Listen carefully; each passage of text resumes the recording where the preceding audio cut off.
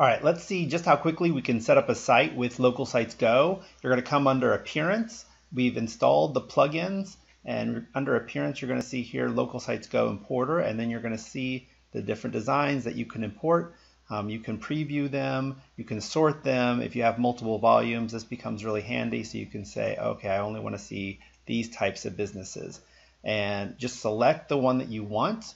You're going to come here. Let's do um, wedding venue. You'll see here the website um, is just a blank website, just a test website. There's nothing on it. We're going to go to import. We're going to say yes. And we're going to import this on a brand new site.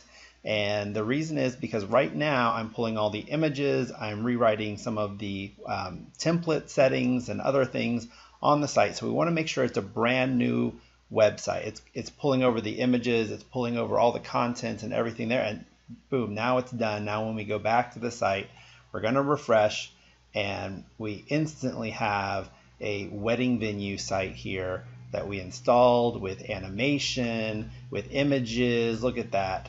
Um, all sorts of information. And this can be easily edited. It's all sort of drag and drop editing and beautiful site, multiple pages done in less than two minutes. Uh, and really, this is a game changer. And I'm excited for you to have this as your secret weapon to creating instant websites for your clients.